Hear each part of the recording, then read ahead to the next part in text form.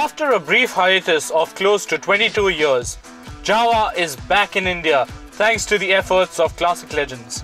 They have received phenomenal response as the buzz around the Czech manufacturer is at all-time high. So which one should you have in your garage? But before we carry on, don't forget to subscribe and click the little bell to stay notified.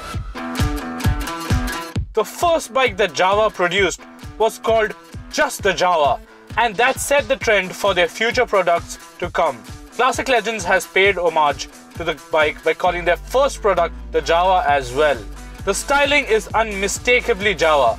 The round fuel tank, the round headlamp, the toolbox panels and the big swooping mudguards look just like the Jawas of yore. The modern bit on this Jawa is a fuel injected 293cc single cylinder motor which is also liquid cooled and has a slick 6 speed gearbox. Hold on, but before you cry Mojo, let us tell you that the base might be the same, but it has a fairly different state of tune. Thus, it makes 27.37 PS and 28 Newton meters of torque. Classic Legend states that the engine has a flat torque curve and it will help deliver more accessible performance. They have also kept the traditional twin port exhaust intact and have tried to tune the acoustics to offer an old school tune. What we didn't know until the event was the underpinnings. The base is a traditional double cradle frame with conventional telescopic forks and twin gas charge shocks at the rear provided by the good folks at Gabriel. In terms of braking components, you get a 280mm disc with a twin piston floating caliper up front and a 153mm drum at the rear. And that means you just get single channel ABS. There are spoke rims at both ends, but the front is an 18 incher while the rear is 17 inches only. The Jawa retails for rupees 1.64 lakh ex showroom Delhi, and at that price, it is 11 grand more expensive than the Royal Enfield Classic 350 gunmetal grey ABS.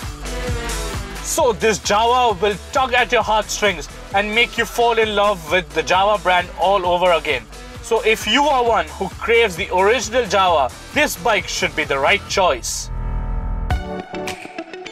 The 42 is a modern interpretation of the Jawa shape as it gets an offset instrument cluster, bar end mirrors, and a heavy dosage of black instead of chrome. It comes in four matte colors and two metallic colors, of which this Lumos Lime looks the coolest. It shares the underpinnings with the Jawa, with slight differences in the ergonomics. The 42 is the most affordable of the new Jawa bikes as it retails for rupees 1.55 lakh ex showroom Delhi.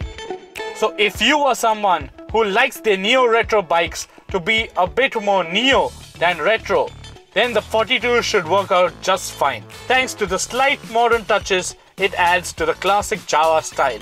Plus the trendy colors will make you stand apart from the crowd as well.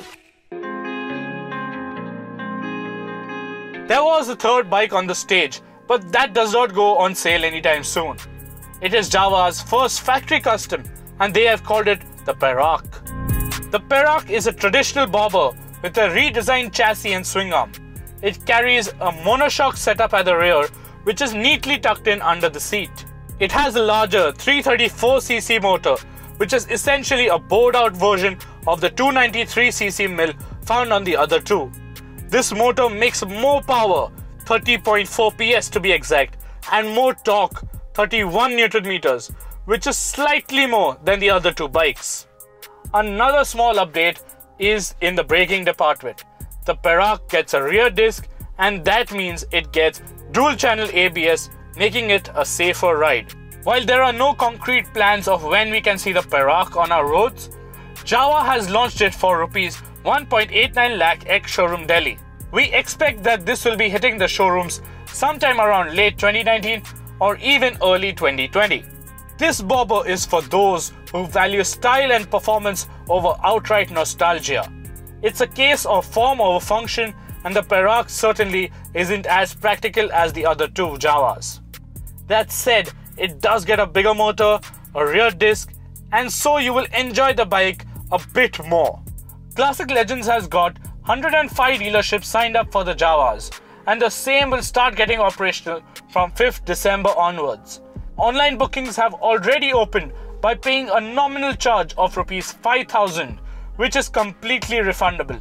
Deliveries for both the Jawa and the 42 will start from the first quarter of 2019. We will be getting our hands on both these bikes soon enough, so stay tuned for more of the resurgence of the Jawa brand here at zigwheels.com.